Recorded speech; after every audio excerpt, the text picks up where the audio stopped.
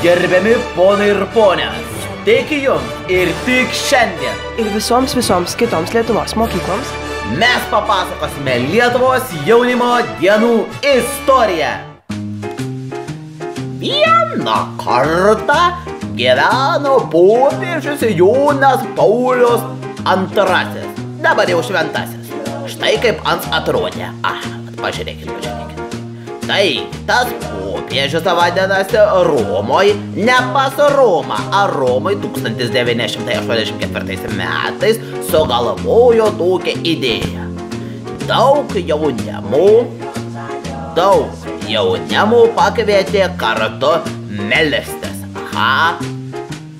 Paskui sėdo į savo papamobilį ir iškeliavo į Lietuvą. Pa, pa, pa, pa, pa, pa, pa, pa, pa, pa, pa, pa, pa, pa, pa.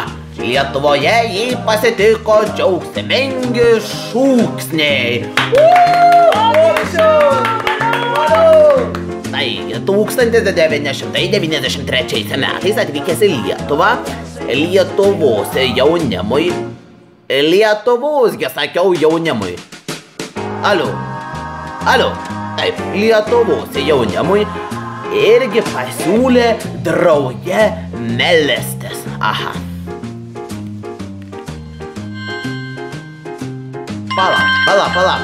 Kad ar neatsiliepiau čia. Jėdz, neskambink dabar, aš pasakoju vaikam istoriją. Aha. Aha, paskom, paskom, aha. Taigi, 1997 metais nuo Gedimino Vilniaus link Vytauto trakų tapo, tapo, tapo, tapo pirmieji piligrimai nužymėjo kelią į Lietuvos jaunimo dienas. Čia biški pavalom. Pavalom, aha, nenusivalė šiek tiek, nu nieko. 2004 metais į kryžio kalną Šiauliuose, kurio maketą čia matote, susirinko dar daugiau piligrimų. Vėl skalauja jūra kantą. Bam, bam, vėl nusineša mane. Teisingai, 2007 metais prie jūros susirinko šiek tiek jaunimo švesti kitų jaunimo dienų. O tada 2010 metais paragavę panevežėtiškų kebabų, jaunimas į Sido areną susirinko švesti dar vienų jaunimo dienelių. Toliau 2013 metais laikinojoje sostinėje prisiklėdę va tokių kliučkių, e, lepdokų, šventė dar vienas. 2015 metais ieškodami lobio susirinko švesti į Alytų. Pasiėmė maišą plytų.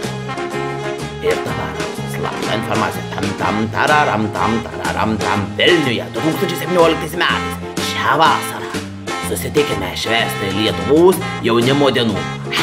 Hashtag važiuojam www.jaunimodienos.lt Tai tiek.